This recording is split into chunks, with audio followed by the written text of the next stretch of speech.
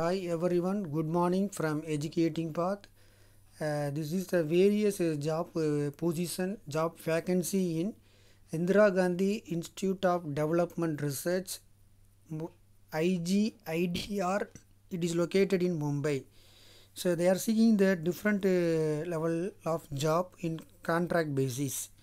So name of the post assistant administrative officer HR and admin, assistant administrative officer academic, IT associate, library assistant, account assistant, administrative assistant admin, administrative assistant estate and maintenance.